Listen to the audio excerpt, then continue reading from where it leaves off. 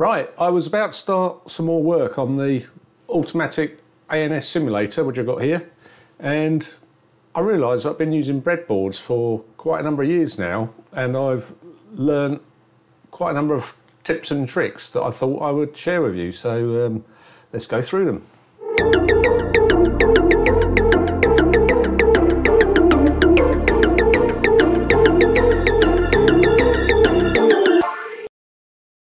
Okay, so behind me then, great big massive breadboard. In reality, they're that kind of size. Now, these are stacked together. There's, there's two breadboards stacked together.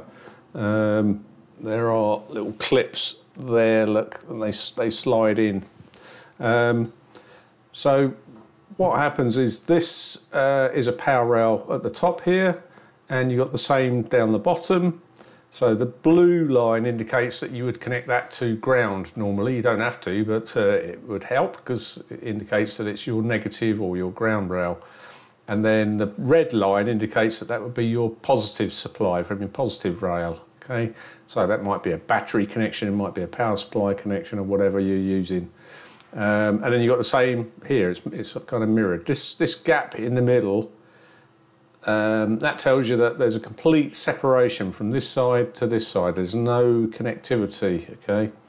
Um, there's connectivity all the way through here on the blue line and the red, although many breadboards, they separate there in the middle for some strange reason. Um, so that, that would not, this pin doesn't connect to that, and this doesn't connect to that, and similarly the same down here, okay? And then in the main area here, these connect in the vertical plane, not in horizontal, in a vertical plane. So if you imagine that you can sort of see through this uh, breadboard slightly, what you might see is something like that. So there's the metal strip that runs all the way through here, but bear in mind there might be a gap in the middle there. I've um, come unstuck with that a few times. And then vertically, these connect this way, all right? So let's have a look on the bench and um, we'll look at a few devices I've used over the years um, and some things that don't work, okay? Let's have a look at them now. Right, here's a breadboard. Um, as I said, there are various types. This is kind of standard breadboard. You can see this is two of these um, mounted in a, in a base and it gives you some banana jack connectors. They don't actually physically connect in. You have to add your own wires, which I don't really like. Uh, it would have been nice if somehow they were linked underneath. Um, so you get this type. Um, here's two mounted together. Um, there's another one, smaller form factor one, even smaller form factor one. Okay. Um, but sometimes I find that putting devices into these pins, it doesn't easily insert or make good contacts. It depends on the quality of the, of the boards. And by far the best that I ever purchased was this one. It's uh, K&H. Um, got a few things from K&H and uh, I've, I've looked around to try and get another one of these. I've found them, but they are incredibly expensive.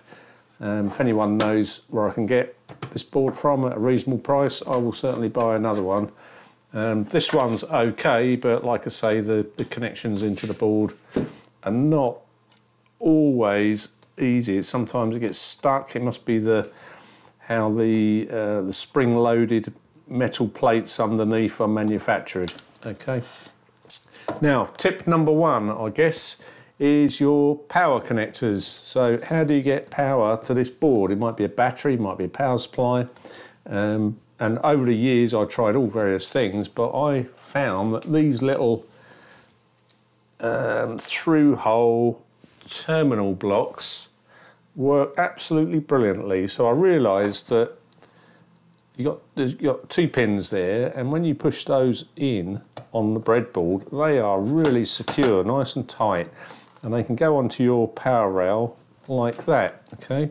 So what I did was I made up my own power lead. This is coming from my bench power supply and um, it's just a bit of mains flex, uh, what is it, one millimeter mains flex. Of course, you're not, you don't need that kind of, um, that kind of size cabling gauge, but um, that's what I had, and it's nice and flexible. And yeah, so you'd connect your negative onto your negative rail and your positive onto your positive rail, and that's a nice solid connection, look. Um, because it's flex, I had a ground lead, so I've connected that to the ground, uh, sorry, the blue one. So I've got another little uh, crocodile clip which comes in handy if I want um, a ground reference to something and I put another little tail there that I, I clip certain devices onto when I want to measure. Um, and of course you could put another lead on the positive there. All right, so that's tip number one. Tip number two, when you're wiring LEDs or right, various other items for that matter, you need current limiting resistors, don't you? So I'm forever wiring LEDs and quite often you, I don't know, might have 10, might have 20 of them, but to wire up another 10 or 20 current limiting resistors as well was a bit of a pain. So um, let's just put this LED in here. And there we go. But the tip really is get yourself some resistor packs. These are resistor packs. So um, let's pick, we got 470 ohms, 1 kilo ohm, 4.7k, 10k and 47k. So if I pick this 1k here, what happens is one of the pins is ground and then there's effectively a 1k resistor to pin the, the next pin and a 1k resistor to the next and a 1k resistor to the next. Now let's see where the, the ground is. It's there uh, I don't know if you can see it, that little dot there, that represents the ground pin, okay? And all the others are 1K linked to that. So if I insert that there, there you go, that LED's come on. All right, then I can just carry on up to eight LEDs, and when I want another one, I just put another, another resistor pack rather than another eight resistors there. Okay, that's tip number two. Tip number three, get yourself an organiser for your jumper wires. Um, just move that out of the way. This is mine. I've got several of these little boxes. I can't remember where I got them from. I think Maplin when they were around. And I've even labelled it up to say wire. Um, but it, what it does is it enables you to organise into the various lengths of cables. So whatever length you need, then um, you don't have, you're not hunting around inside a great big mess of cables. And you can see I've got other stuff in here. Here's some header pins, they're worth having. Um, these you solder on to uh, microcontroller boards. Um, and then, yeah, there's my terminal blocks as well. All right, but um, yeah, get those organised so it's nice and easy to find the kind of length that you need, okay? Right, tip number four, leading on from jumper wires and keeping them nice and tidy. Um, even better option is to get yourself one of these types of kit. These are jumper wires, but a different type. They are kind of solid jumper wires.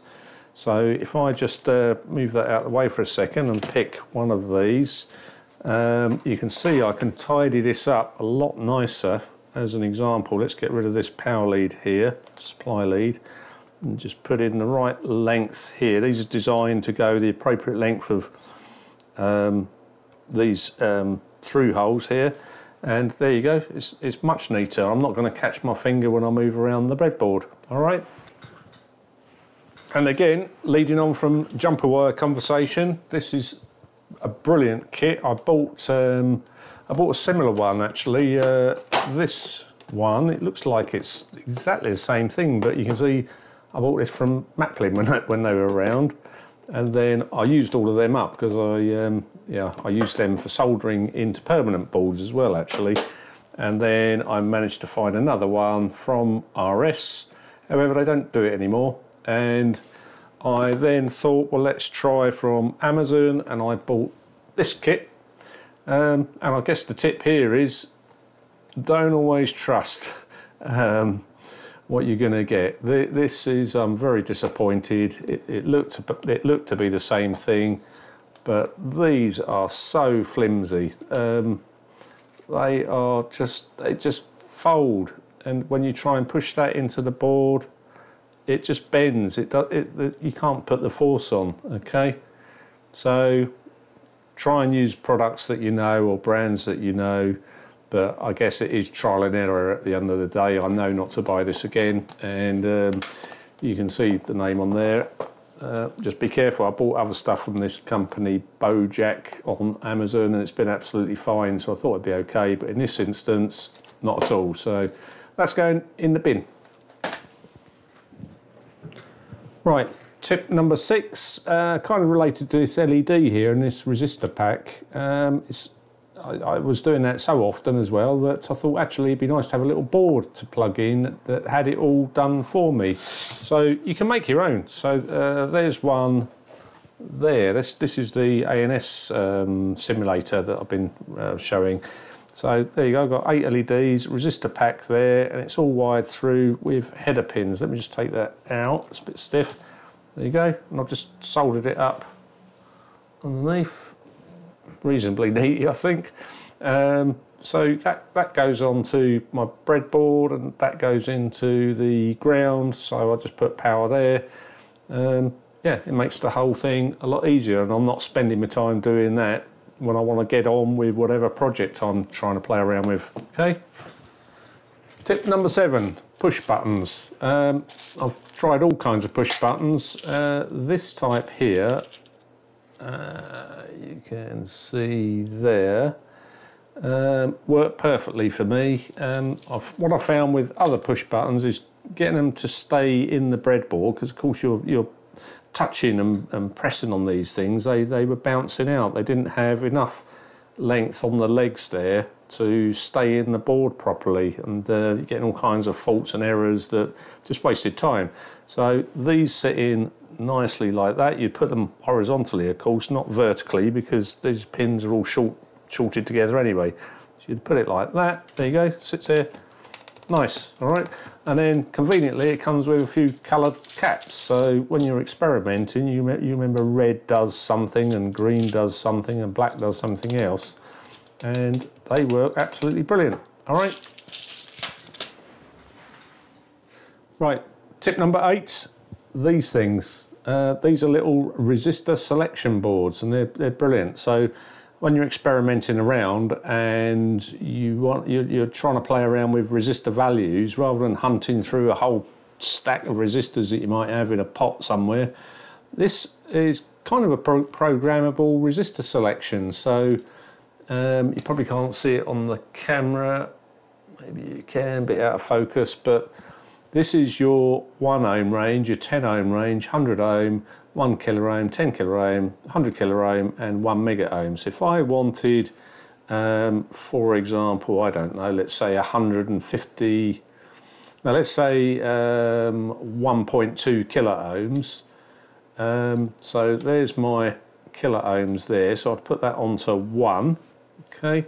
And this is the 100 ohm range, so I'd put that onto 2 there. So that's now configured as 1.2 kilo ohms. And that's what I would get from those two pins there. So if I connected it from, say, that switch there, I now know I've got a 1.2 kilo ohm resistance between those two pins. And I've got a couple of them because I use these quite a lot for checking voltage divider circuits. So get working out my value for a voltage divider. And then you can just verify that with your meter, play around to your heart's content to get the right value. Yeah, okay, that's uh, tip number eight. Right, tip number nine relates to these things here. I don't use these to power the board. I think that's what they are kind of intended for. But uh, I actually use them for my for my multimeter connections. Only only this one, the ground connection. Um, so I do tend to have that connected through to ground most times. So I'll bring my meter in and uh, put it onto volts. There you go. And what I have here is a male to male banana plug, okay? So that will connect into there. Now my meter is tied to ground on this board. Then if I bring in my, um, my red probe there and connect to say there, there you go, you can see I'm driving this, this board at what, eight point? It should be nine volts, but yeah, 8.7 volts, okay? Um, these are great these are great probes, by the way. These are made by Probe Master. I've done a video on this before. um, nice pointed tip, you can actually insert these into the breadboard and it does make good contact fairly easily.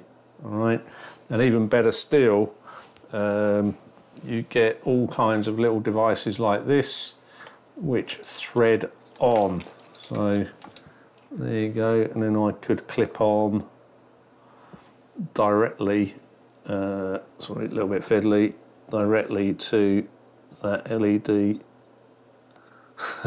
My eyes are not good. That LED there, there you go. Look, now I'm getting 9.4. There you go. Um, so that's probably tip number 9A, I guess. Anyway, next one. Okay, finally then, tip number 10 is keep your stuff organised and labelled. So I use some boxes like this. I've got all kinds of plastic boxes around. These are resistors up to 59k and you can see inside uh, just there, look, you can see inside they're all labelled with the kind of value range. Um, I've got some transistors there. Uh, sorry, yeah, all transistors there and um, all various IC components, all labelled. I know exactly where to find them, and I'm not hunting around through great big pot to uh, find what I'm after, and um, makes it a lot more pleasurable make doing projects. Okay, I hope that helps. Uh, catch you later.